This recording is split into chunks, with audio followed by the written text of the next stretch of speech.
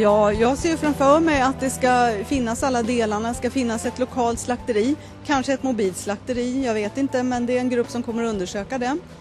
Ett gemensamt vidareförädlingshus där man eh, kan nyttja lokaler gemensamt, där man också kan få utbildning i livsmedelshantering och de bitarna.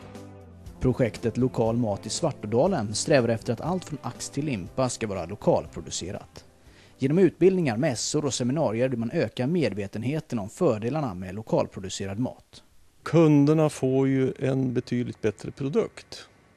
Vi kan plocka våra tomater nu då i ett helt annat mognadsstadium än vad de som kommer till exempel från Spanien då, som är gröna när man plockar dem. Här får vi ju alla smakämnena kvar. Projektet har lett till att 15 nya lokala producenter poppat upp. Det är en fördubbling i Sala kommun.